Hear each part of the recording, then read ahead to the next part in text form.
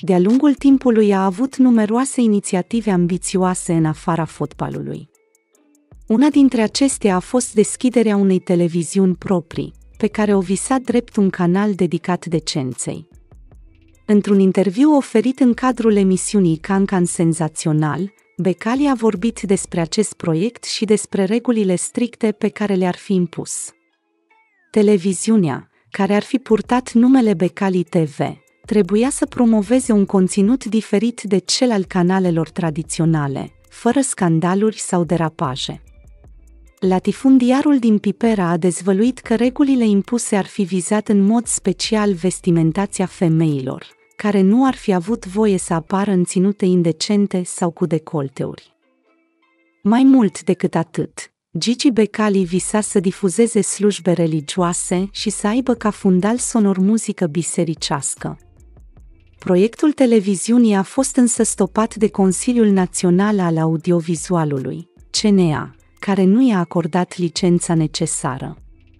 Refuzul l-a dezamăgit profund pe Gigi Becali, care, de atunci, a redus considerabil aparițiile la alte posturi TV. Am zis că nu mai vin la televiziuni, dar vin la OTV când se deschide. Când am vrut să fac Becali TV, nu m-au lăsat.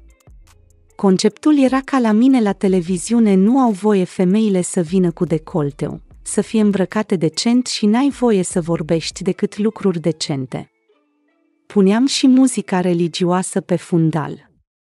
Dar au zis că nu, că nu mă lasă, a declarat Gigi Becali.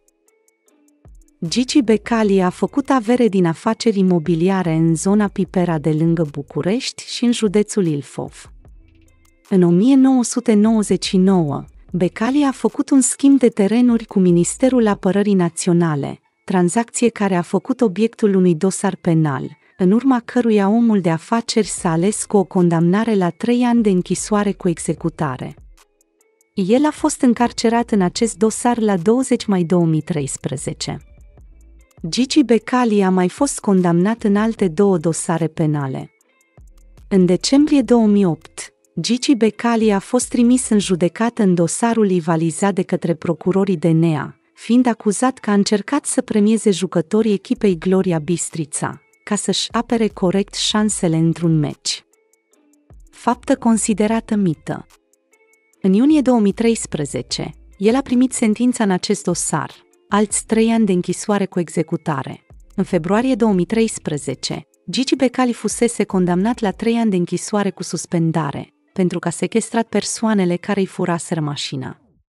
Contopirea pedepselor i-a dus lui Gigi Becali o condamnare totală de 3 ani și 6 luni, dar patronul clubului de fotbal FCSB a efectuat numai un an și 10 luni de închisoare, fiind eliberat condiționat, în aprilie 2015. Gigi Becali a fost membru al Parlamentului European între iunie 2009 și decembrie 2012 și membru al Parlamentului României din decembrie 2012 până la condamnarea penală din mai 2013.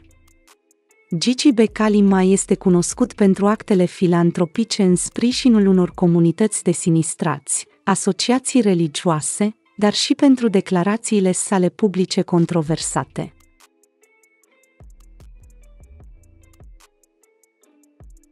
Vă mulțumesc că ați privit până la final și vă rog să vă abonați la canal pentru a vedea mai multe știri de acest gen.